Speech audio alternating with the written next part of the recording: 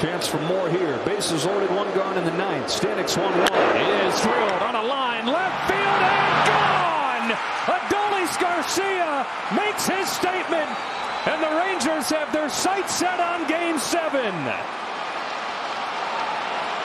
Well, it, it wasn't the train tracks, but it was special.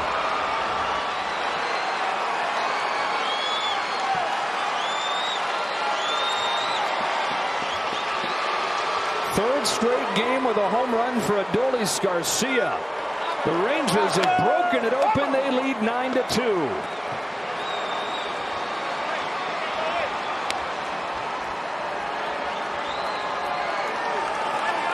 Well, somehow, some way, he got shorter to the ball, Joe, because he had been swinging big and out of the zone.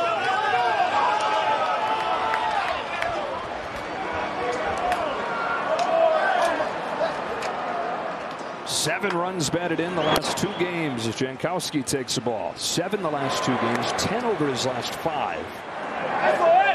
And Barring a Houston miracle, this series is going seven.